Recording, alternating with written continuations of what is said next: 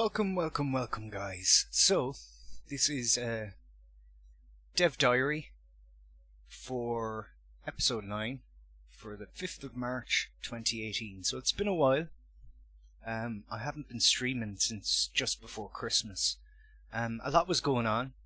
There's been some hardware changes in my workstation here. I had to add a drive, I was running out of storage and stuff.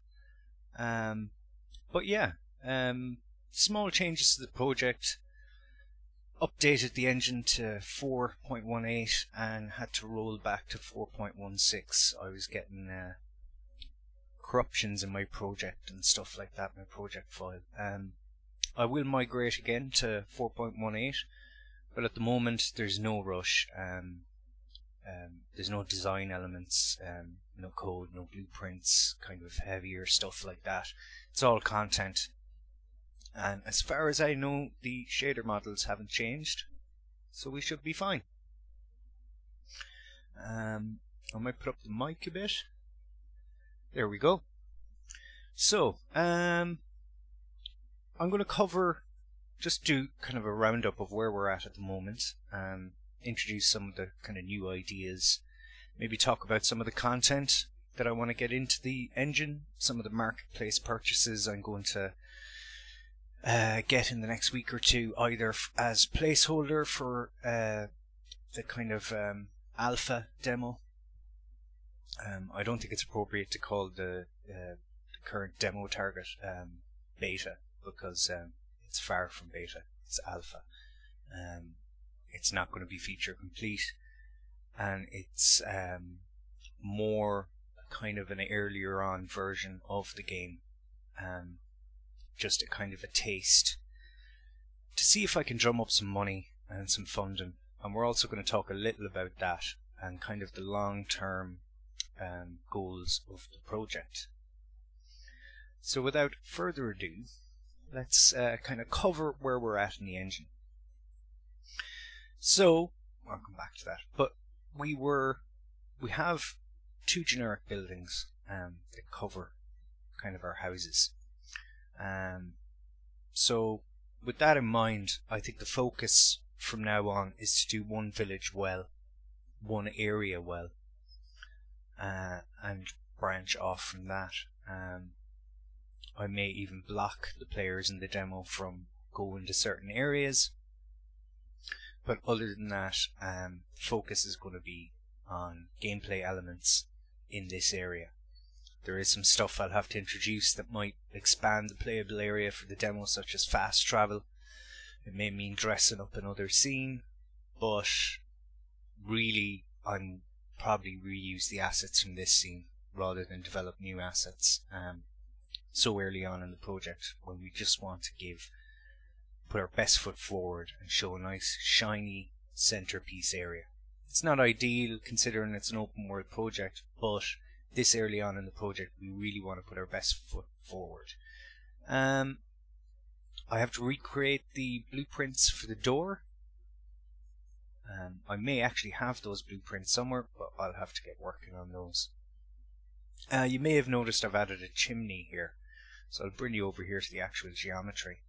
Um, not going to lie, this probably took longer than it should have.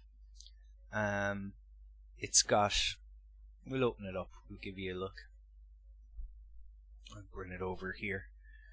Um, its orientation now may mean so I might just unlit okay so we're here we are. So this is the fireplace. Um, as you can see it's kind of a kit bash design so I can use it in multiple scenarios. Um, it has five LODs and the reason for that being if I turn on wireframe. I could even decimate this one further down, but um, if I go to the base LOD, you can see it's quite dense. Um, that was a sculpted surface that was retopologized.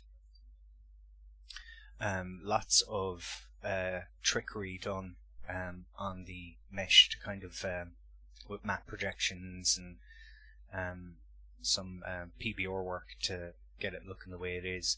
Um, it doesn't have edge wear on it yet. It doesn't have a lot of stuff, but um, considering the amount of time I put into it, and the fact that we're at a demo stage, I'll probably uh, come back and do another texture pass in the future and get that working. I want to have like uh, candles and stuff that I can kind of uh, put on the um, on the model and kind of set dress up the area. Um, so we'll have a look at it in scene. So there it is at its lighting and its normals and its roughness and all the rest of it. Quite a simple material really after all said and done. Um, the workflow and the process was kind of the same as everything else um, but it was um, highly highly sculpted and a lot of trickery and foolery. Um, a lot of smoke and mirrors uh, to actually get the effect done. Um, as you can imagine, some of the tessellation in certain areas in the sculpting package didn't work out very well. But once we abandoned the high poly um, uh, sculpted mesh, we were able to use, um, after retopology, we were able to use some image processing techniques, such as the blur tool, in certain areas, or especially the concave areas where I was getting kind of um, um, candy wrapper is I've heard it called in animation terms when you get deformations on a joint, but it can also happen due to tessellation where um, just because the nature of the mesh, um, the topology of the mesh, it kind of uh, can collapse into um, ugliness. Um, and also the masking tools um, because they're kind of have this an 8-bit dither sometimes on the brush you may when you're masking off like this area for the mortar and then kind of working on, on the brick areas you may get um, some kind of weird effects going on. But that's fine and with a little more texture work um, it could be even better you'll notice that for instance, I have lichens on the higher parts of the building, and there's no lichens up here yet. If anything, I might add a small bit of lichen at some stage, but you know what? There's no um, there's no rush in that, so I'm just gonna get that back in place. So um, we're still dynamic lighting, no static lighting. Um, damn the expense, we'll optimize the hell out of it um, when we come to cross that bridge. Um, so yeah, at the moment there's enough for me um, here, even if I don't uh, prop out, um, you know, decorate this place with props and set dressings like tables and furniture and, and all the rest of it. There's enough here thus far to kind of crack on ahead um, at this early stage um, to kind of give, um, you know, potential collaborators and um, sources of money uh, an idea of what the kind of end game or what the project is is is kind of targeting. So with that in mind, um, I can move on. I just need to get maybe the doors back in and a few other bits and pieces. Maybe do some set lighting in here. Um, one thing I will do is I'm probably going to put a fireplace in here. So let's have a look at um, assets store I'm going to talk briefly about uh, some of the assets. So I'm going to go back to the marketplace. Whenever you're ready on Unreal front end. So, um, this is the Fire, Fire Starter FX. So I take it that's a, a, reference to the Prodigy, but there's actually more effects here than we actually need. Um, Again, 26 euro comes back to time, especially in pre-alpha. Um, you know, um, it's going to cost me more time-wise generating these effects, doing all the PNG work and all the kind of um, all the image processing to come up with these effects and particle systems. So you know what, 26 quid, it's not a bad deal. Um, we can write it off at the end of the year as as saving time. Um, there's only a couple of effects that we really need, um, and some that we probably have to do a bit of editing on, but not to worry. Um, then uh, I just want to jump back into uh, the editor. Go to our. Oh, we're going crazy here. Clicking too fast. Okay, so um, this water um, you know, it's it's kind of doing the job. I'm going to increase my camera speed so I can get around the island a bit faster. Um, it's doing the job. Um, this is a different water from a different. Um, came with one of the I think the landscape auto material, hence it doesn't have the volume underneath. Um, but this water, you know, it's it's good. I like the splines. It's just a bit tropical. Um, these are the default colors. I I had edited edited it before so that it didn't look so tropical. It was a bit more darker and kind of Atlantic and North Atlantic in nature. Um, well, I guess height of summer you might get um, effects like that, um, but in general, uh, North Atlantic is going to be darker and more foreboding than that, especially for uh, the kind of ambience we want to create for a game. So, with that in mind, um, I was looking at this guy. Now, you can already see that that's somewhat more um, kind of Atlantic in nature. And it also has a very similar, and it comes with a few other bits and pieces. You know, I can do rivers and stuff like that. I've I've looked into this. Um, it's gone up in price again since I last looked at it, but it has fallen a lot. So let's have a look at this um, and see.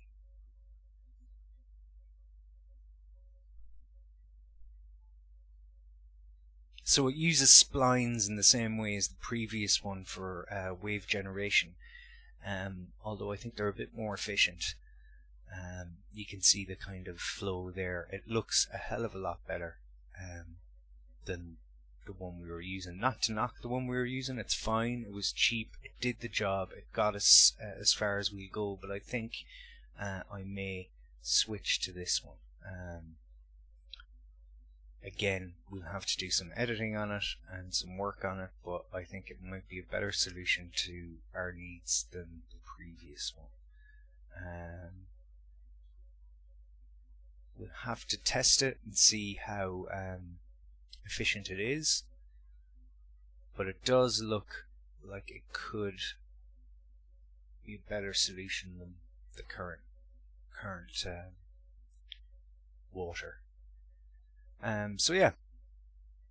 With that said, probably in the next week or two we'll implement that. Um, we're kind of getting to the end of uh, kind of art as such. Um, the focus has to shift um, once this is kind of dressed up a bit more, maybe some props in there, um, but not too much. I don't want to show too much um, art and not enough of other things. So Gonna have to engage with my character artist, see if he's still available. Um, he might be under contract at the moment. There might be stuff there. I might have to wait for him um, uh, to finish whatever other project he's working on.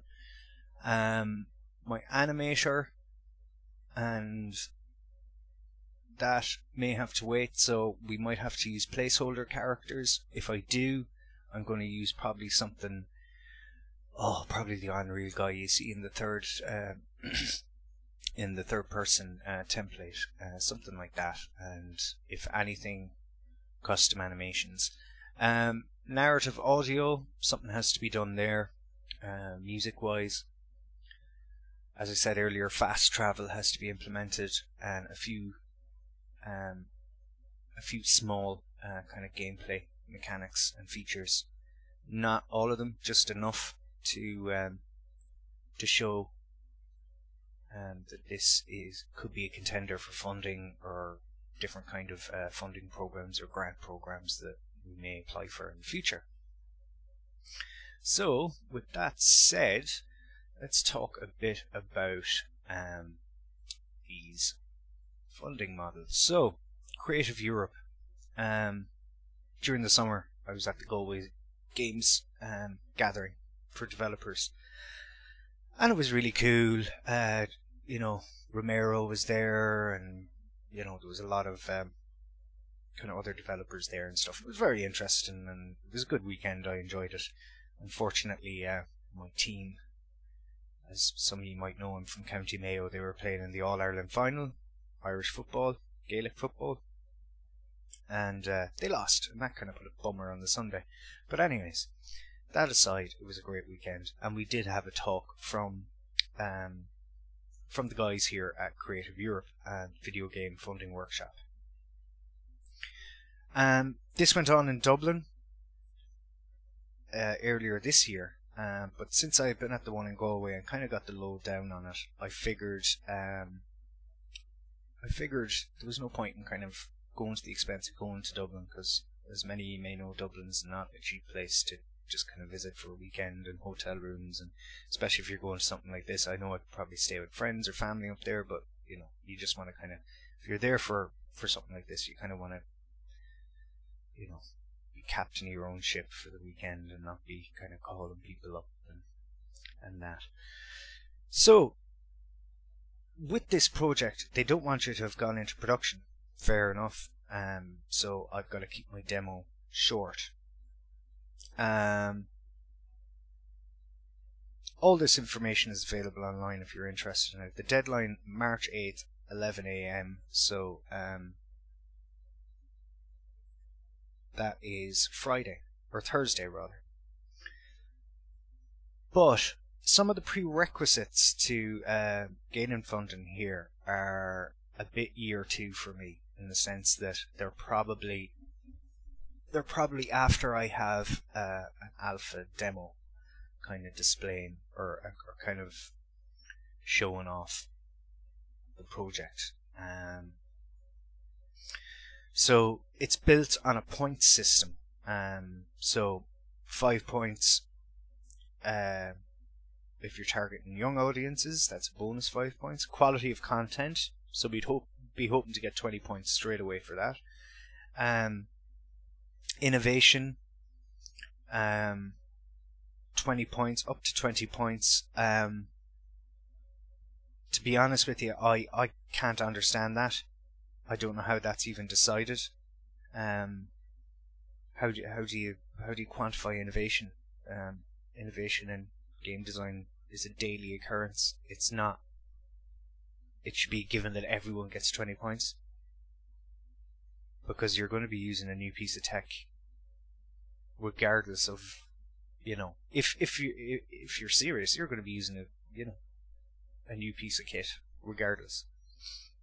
So that's a bit confusing but i without prior knowledge i'd assume that 20 points is a given. Quality of development strategy. I guess, I guess so. Yeah, twenty points.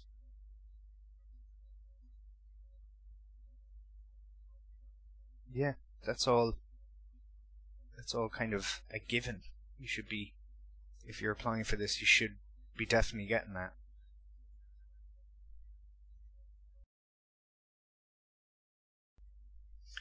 Ten points. Quality of distribution uh, strategy.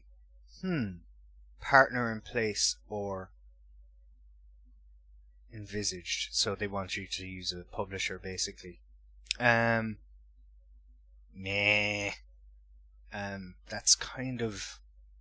This is what I mean. That, but this year, uh, this doesn't seem like it's feasible right now because I'm not at a point where I can go to a publisher. I need to be able to. Sh- you need to be able to show them something that doesn't just look pretty, that functions, that shows that um, that you and two or three other people could do this, but given a year and a team and a budget, you could probably do a hell of a lot more. Um, 10 points. Quality of marketing strategy. Yeah, marketing strategy. In terms of marketing channels, promotional activities, yeah, marketing strategy, I mean, again, uh, a marketing person and or team would require um, content. Content to market. So um, again you want the hype for your game to be real. There's no point in handing out um, even well done um, concept art for general marketing. I mean if you're if you're if you're looking for investors or kind of monies, then a certain amount of concept art, depending on who you're dealing with, might be might be a good idea, uh, but as regards um, as regards at this phase, you really need to be shown that this is uh, actualized, that this is not something that exists on paper, even if you did go to the expense of paying a, a talented um, concept artist, you need to be able to show that this is actually um, executable. So, some elements of concept art, but you want real time in engine, believe the hype stuff. Um, so 10 points for that. Again, you know, this is the kind of thing that later on you're going to actually engage with professional marketing people. Um, and this is what tells me that it's too early. Well, it's too, considering that the deadline's Thursday, I won't be applying. That's a given.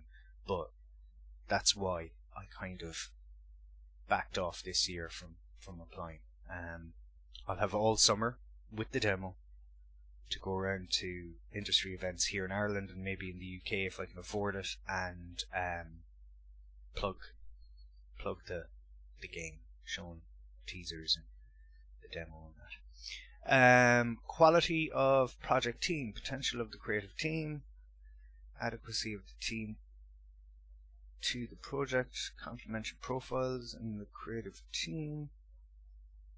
That's just, you know, do you know what you're doing? You should do. Quality of financing strategy. Again, this is a big one. This is a big one in the sense that a finance and strategy, this is something that you really want, um, that you really want to actually get professional help with. It's not something that you can go, oh, well, you know, I'm going to try and get money here and I'm going to try and get money there. No you're going to actually have to go out and pay someone to come up with a plan. Someone who's um, used to the world of, world of finance, who's used to um, um, this kind of field. So, in order to actually do a successful application for this um, for this program, you're going to be spending money. Not on your game, not on, well, technically on your game, but um, you're going to be spending money to just put um, the most kick ass proposal together ever. So, with that in mind, I believe we're not going to go for this year. We're going to go, if we go for it, and chances are I will. Um, it'll be next year, 2019, and if I come up with other ways of funding the project into beta and onto gold, um, I will. But I'll keep this in mind, but I'm gonna just plow on. Um, if the demo generates uh, enough hype and enough interest in the project, and I can get some office space and some money to pay some freelancers, then we'll do that. We won't wait in our hands for um, a highly competitive program from Creative Europe because this program is going to have literally hundreds of people applying. Some former, you know, people with 10, 15 years experience in the industry who are going to be applying for this. And if you think that you, with your new startup, can just jump on in there and make a big splash and get one of the, the higher kind of funding amounts, it's not going to happen. So, unfortunately, this year, that's out of the question. We're going to have to keep it we're going to have to keep it low budget, folks. So back to our project. So, in order to hit demo, we need a UI system, save game system. These are the main things that have to be in just before anything else. Save game system, fast travel system,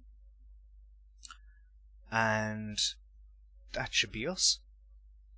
It, we can use um, we can use stock um, in engine what's here already the, the, the third person template style character that kind of ragdoll dude and uh, or crash test dummy looking guy and uh, yeah everything else you know we want to show a bit of everything.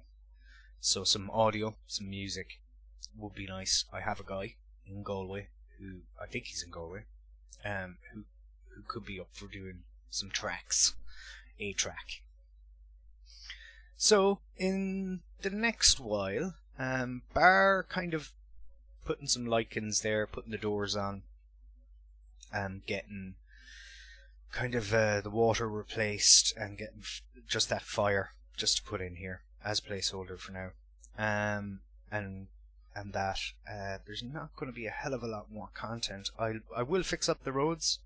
You can see there that I've only really done a bit there because this again this was a fallback project. Um, and replace you know um, bar bar the kind of content changes we've outlined, um, it's on to design time. And there's enough time spent here, especially this early on in the project. So we best just crack on with it. Uh, I may actually bring those that forested area closer to here, just to make things more interesting. Yeah. So guys, that was Development Diary, episode 9, um, for March the 5th, 2018. And I'll chat to you all again. Take care. Thank you.